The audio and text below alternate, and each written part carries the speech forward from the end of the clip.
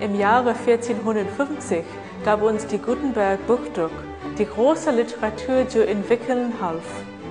Der Erfinder der Zahnpasta, Ottmar von Meyenberg, hatte wohl nie gedacht, dass er unser Leben für immer verändern würde. Und wir dürfen nicht die vielleicht beste deutsche Erfindung aller Zeiten vergessen, die Currywurst. Oder wie Goethe sie beschrieb, der Worte sind genug wechselt, lasst mich auch endlich Currywürste sehen. Doch von allen wichtigen Erfindungen, die Deutschland der Welt gegeben hat, ist mein Lieblings das Dusentriebwerk. Warum? Weil das Triebwerk mich von Kapstadt nach Deutschland tragen wird. Das Triebwerk wurde von Dr. Hans von Ohain gebaut. Es ist sehr kompliziert und technisch, aber einfach ausgedrückt funktioniert es so.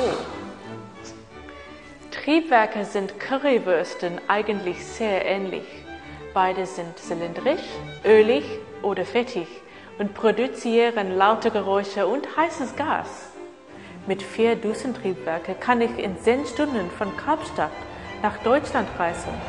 Es würde viel länger dauern, würde ich auf eine Currywurst reiten.